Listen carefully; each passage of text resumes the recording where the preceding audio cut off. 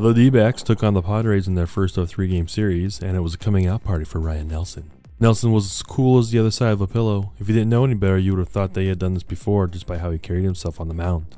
The best chance the Padres had against him came in the first when Profar led off the inning with a double to right center field. Though Profar advanced to third, Nelson recovered, retiring Juan Soto, Manny Machado, and Josh Bell. Nelson was picked by the D-backs in the second round of the 2019 MLB draft and spent this season with AAA Reno, where the 24-year-old made 26 starts. Nelson is ranked by MLB Pipeline as the D-backs number 8 prospect, and he delivered.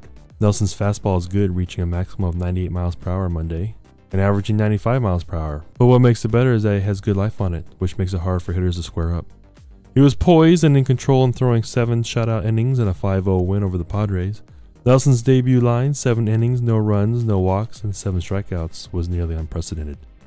In Major League history, only one other pitcher broke in by throwing at least seven innings and recording seven strikeouts while posting zeros for runs and walks.